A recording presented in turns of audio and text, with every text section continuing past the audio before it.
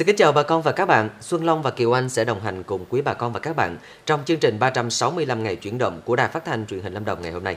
Trong không khí đón xuân mới Tân Sửu 2021, bà con nông dân cũng vẫn không quên chăm sóc cho khu vườn của mình. Chương trình 365 ngày chuyển động hôm nay sẽ cùng đưa bà con đến với những vườn cây ăn trái có tiếng trên cao nguyên Lâm Đồng, một trong những loại nông sản đã và đang góp phần tạo giá trị cho nông nghiệp Lâm Đồng với những mùa quả ngọt. Thưa quý vị và bà con, thị trấn Đà Răng, huyện Đơn Dương là địa phương có điều kiện phát triển vùng nguyên liệu cây ăn trái. Trong đó có nhiều loại đã được xây dựng nhãn hiệu như là hồng răng, dứa cà rèn.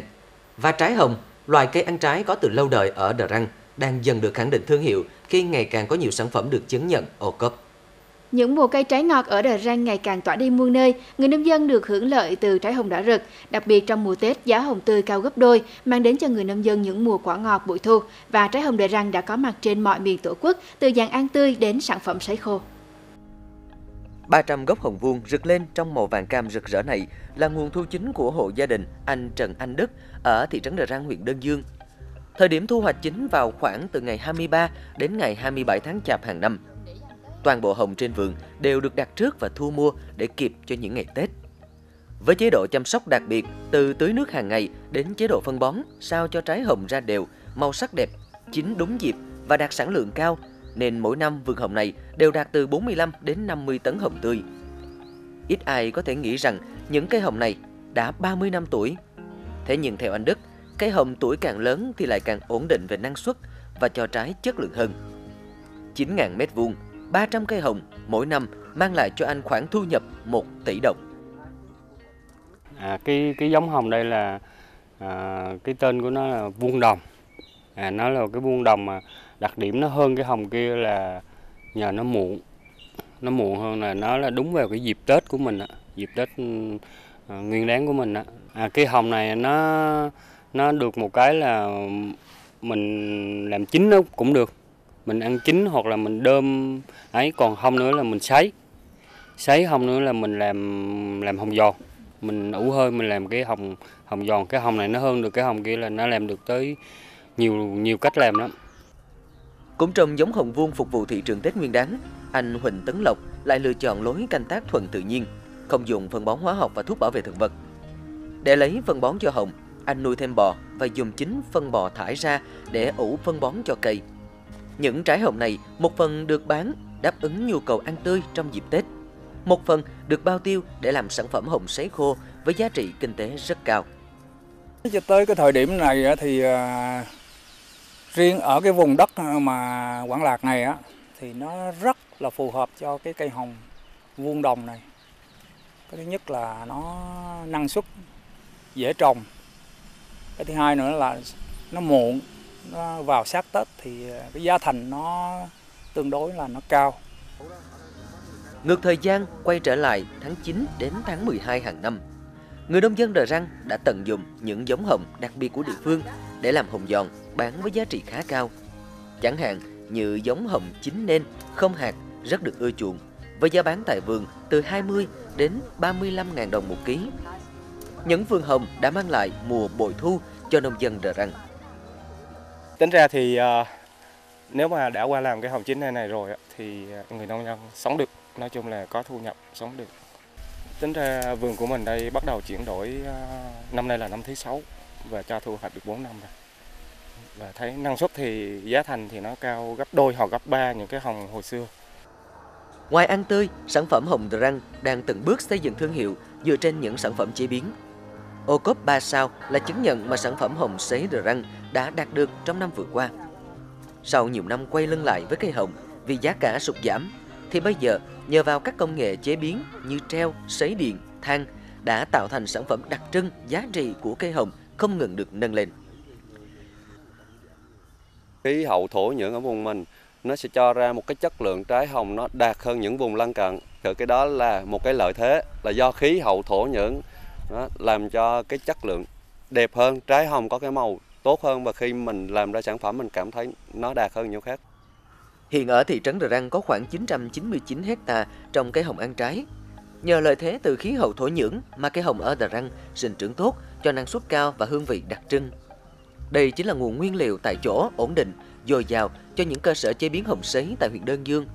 Và từ chứng nhận sản phẩm ô cốp cấp tỉnh sẽ giúp cho trái hồng Đà răng có nhiều lợi thế hơn trong việc đăng ký bảo hộ thương hiệu, chứng nhận truy xuất nguồn gốc, mở rộng thị trường, từ đó đem lại giá trị cao hơn cho quả hồng ở Đơn Dương.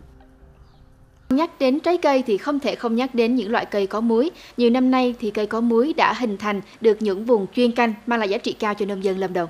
À, vâng, nếu như cam canh ở Lâm Hà hay là quýt răng đã tạo nên thương hiệu, thì những vườn bưởi da xanh ở các huyện phía nam của tỉnh Lâm Đồng cũng dần được thị trường biết tới. Nhân dịp đầu năm mới, chúng ta hãy cùng khám phá một vườn bưởi được tạo hình tài lộc của một lão nông ở huyện Đà Tẻ.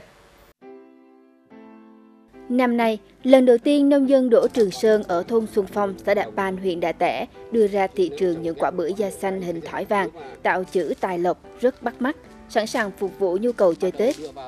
Ông Đỗ Trường Sơn đã có gần 15 năm kinh nghiệm trồng bưởi da xanh xen măng cụt trong vườn, rộng hơn một hecta. Năm nay là lần đầu tiên ông Sơn thử nghiệm ép bưởi vào khuôn, tạo thành hình thỏi vàng, hồ lô, tạo chữ đẹp mắt. Vâng, riêng về cái đất ở Đà Tẻ và cái vùng đất của xã Đà Ban này, đặc biệt là cái vùng đất của xã Đà Ban này là nó rất phù hợp với cây trái. Và cái dòng cây có múi là rất hợp, kể cả bưởi cho đến chanh, cam cho đến nói chung là các dòng cây có múi là rất là hợp. Những quả đầu cành phân của mình to thì mình phải chọn những quả ở bên trong thì nó mới đẫy. Quả bưởi được lựa chọn cẩn thận để có kích thước phù hợp với khuôn. Ngoài ra, bưởi dùng để ép khuôn còn đòi hỏi quả tròn, cuốn trái to, nhiều lá, dày. Với yêu cầu như vậy, mỗi cây ông Sơn chỉ chọn được một vài quả để đặt khuôn nhựa, sau đó xử lý các giai đoạn như rải phân hữu cơ, xịt thuốc và chăm sóc, theo dõi kỹ càng. Riêng về cái cây bưởi lúc bé thì là đa số nó nó nó nó nó bị cái dòng sâu vẽ bùa à, nó xâm hại. Thì nên là khi cái đọt non nó ra từ 5 đến 7 phân là mình đã phải xử lý thuốc rồi. Đấy, thì mình xịt được vậy là nó không bị xoăn lá, nó không ảnh hưởng, nó không hại đến cây. Cho nên là nếu mà mình mà để nó nó nó, nó sâu dã bùa nó xâm nhập ấy là cái cây của mình nó bị đuôi đi. Do đây là năm đầu tiên làm thử nghiệm nên gia đình ông Sơn vừa làm vừa học hỏi và rút kinh nghiệm. Tỷ lệ thành công chưa thể đạt 100%. Một số lượng nhỏ bưởi ép khuôn đã được ông bán trước đó với giá 700.000 đồng một cặp. Tết này, ông Sơn có khoảng 70 cặp tạo hình bưởi độc đáo đưa ra thị trường với giá bán cao hơn nhiều so với giá ngày thường nhưng vẫn không đủ cung cấp cho những người đã đặt hàng. Rời vườn bưởi tạo hình độc đáo ở Đà Pan, Đà Tẻ, chúng ta sẽ cùng tiếp tục đến với một vườn bưởi Tết khác đang cho thu nhập rất khả quan. À, vâng, đây chính là vườn bưởi rộng 1 hecta dưới chân cầu Đắc Lua ở huyện Cát Tiên. Mặc dù mới chỉ ra trái bói, thế nhưng cũng đã mang đến một mùa Tết đầy quả ngọt cho chủ nhân khu vườn này. À, không biết Xuân Long như thế nào, còn riêng đối với Kiều Anh thì bưởi là loại trái cây không thể nào thiếu trong những dịp Tết. Đây cũng là loại trái cây à, rất tốt cho hệ tiêu hóa. Có lẽ chính vì thế mà trong thời điểm Tết thì à, bưởi là loại trái cây rất được ưa chuộng. Chủ nhân của khu vườn rộng 1 hecta này chính là ông Huỳnh Văn Phú ở thôn 3 xã Quảng Ngãi, huyện Cát Tiên. Vốn là khu vườn trồng mía, trồng mì nhưng hiệu quả không cao. Cách đây 3 năm, ông chính là người đầu tiên ở xã Quảng Ngãi trồng bưởi da xanh và cho đến thời điểm hiện tại đã khẳng định quyết định của ông là đúng đắn khi mà giá bưởi ngày thường cũng như dịp Tết đều ở mức cao. Cái thời điểm mình trồng là bưởi lúc đó nó khoảng là giá thị trường nó 65 70.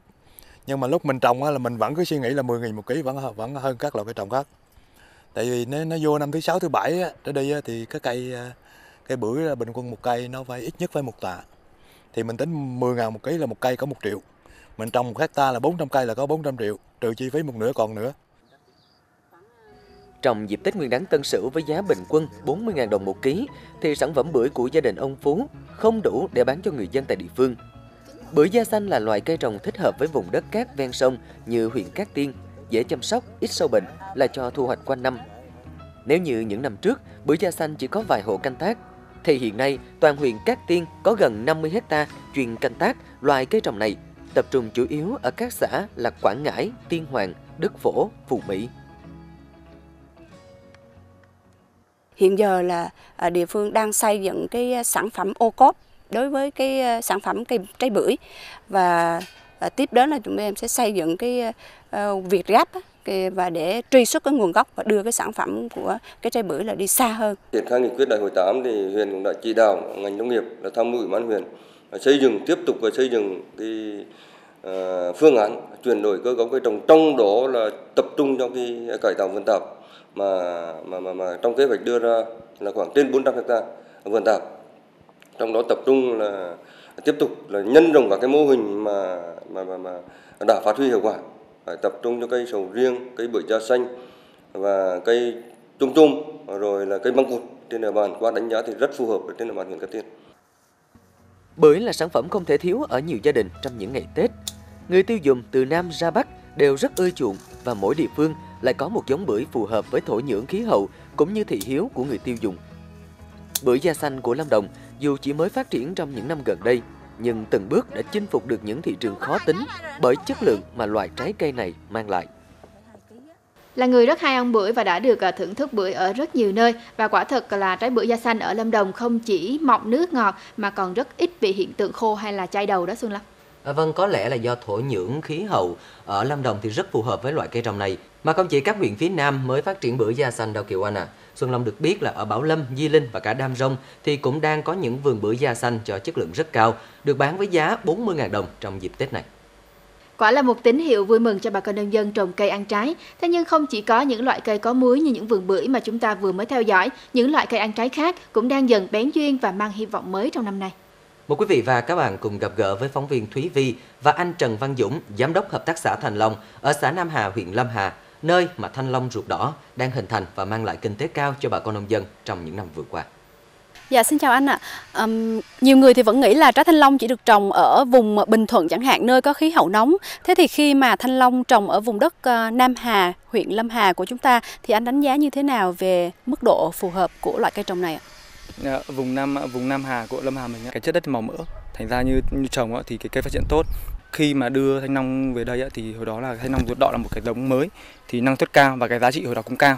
Thế khi đưa về đây thì là mọi người cũng học gọi nhau là trồng ruột đỏ nhưng mà với cái khí hậu mà lạnh hơn như vậy thì cái thời gian sinh trưởng lâu hơn, tức là cái thời gian mà nuôi trái á ờ, dưới Bình Thuận thì từ lúc mà dụng hoa đến lúc mà cho thu hoạch tầm khoảng 28 đến 30 ngày thì trên Lâm Đồng sẽ tầm từ 38 đến 45 ngày, có khi dài hơn. Vậy thì chắc chắn mà khi ờ, trồng thanh long ở Lâm Hà thì bà con nông dân cũng cần phải lưu ý một số kỹ thuật đặc biệt để đảm bảo cây ờ, sinh trưởng và phát triển tốt, đúng không anh? Cái kỹ thuật thì cũng học hỏi từ dưới đó lên, tại vì vùng đó là vùng chuyên mà nhưng mà thì lên trên này thì cũng sẽ chăm sóc ừ, cũng có một số cái nó khác đi. Tại vì ờ, nhưng mà cũng đầy mạnh là phân chuồng. Phân chuồng thì một năm cũng từ 1 đến 2 lần. Lại cũng NPK khi mà qua cái mùa mưa qua cái mùa chính vụ thanh long rồi thì bắt đầu mọi người răng điện răng điện trên Lâm Đồng thì răng cũng từ 17 đến 22 đêm à, răng điện là để kích thích cho hoa ra trái vụ và cái hiệu quả thì uh, trên Lâm Đồng là cũng đạt. À, xin cảm ơn những chia sẻ của anh vừa rồi ạ. Cây ăn trái ở Lâm Đồng trong những năm qua ngày một đa dạng và phong phú, không chỉ tập trung cho thị trường những ngày Tết mà còn được nông dân rải vụ quanh năm. Giá cả ổn định, mẫu mã đẹp, chất lượng cũng ngày càng được khẳng định và chúng ta hoàn toàn có niềm tin nhiều loại cây ăn trái ở Lâm Đồng sẽ được biết đến và vươn xa hơn nữa. Đến đây thì thời lượng dành cho chương trình 365 ngày chuyển động xin được tạm dừng. Quý vị đừng quên là có thể theo dõi lại chương trình trên trang web lamdongtv.vn hoặc trên kênh fanpage của Đài Phát thanh Truyền hình Lâm Đồng. Mọi đóng góp, chia sẻ quý vị và bà con vui lòng gửi email về chương trình tại địa chỉ 365 ngày chuyển động ltv@gmail.com hoặc gọi điện thoại về số 02633 829930. Xin kính chào tạm biệt và hẹn gặp lại vào các chương trình sau.